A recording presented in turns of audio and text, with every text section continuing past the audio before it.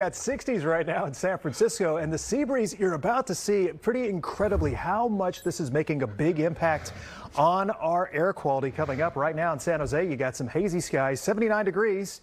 On our way, I think, to seeing some uh, mid 80s towards the middle part of the week. A little bit of a warming trend headed our way around the Santa Clara Valley. 90s in Livermore by midweek. We'll likely see mid to upper 90s making a bit of a comeback around the Tri Valley. We'll also eventually see more 90s around Walnut Creek. As you see, you can see some of the hazy skies out there currently at 87 degrees. And as we just showed you, San Francisco, a little bit of low clouds, as Terry mentioned, 65 degrees, west wind at 15 miles per hour. So our air quality for tomorrow continues the theme low to moderate levels of smoke pollution, higher for places like Lake County or the higher hilltops above 2,500 feet. So literally the top of Mount Diablo or the higher peaks up around the North Bay, still seeing a bit of that smoke.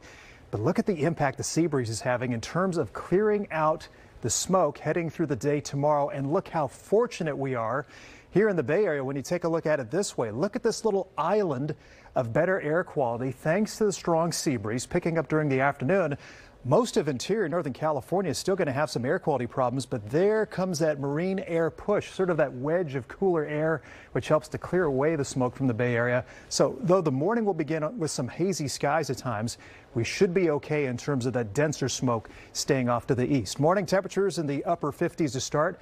Could wake up to some drizzle along the coast, even around San Francisco, and our highs tomorrow pretty close to what we had today. Low 80s around San Jose, more 90s out towards Concord and Livermore. Martinez about 89 degrees, San Francisco in the mid 60s, and Oakland into the low 70s. But from here, We'll begin to see those valley temperatures around the North Bay and East Bay climb into the mid 90s. What might be more interesting is what comes our way Wednesday, Thursday, and Friday. The green band you see passing there over the Bay Area, some of that is monsoon moisture, which has been bottled up for a while in the desert southwest. But that may drift farther to the west as we head through the middle part of the week. And why that's a concern, obviously, up towards the Dixie Fire, they're going to see 100 degree temperatures early in the week, but we could see more lightning strikes associated with those thunderstorms, especially closer to the Sierra. What we'll need to watch here in the Bay Area is to see if any of that moisture drifts a little bit farther to the west. Right now, looks like a main impact for the Sierra. Those showers also should produce rain in addition to those lightning chances, but uh, that's a bit of a change. Things have been relatively calm around the Sierra.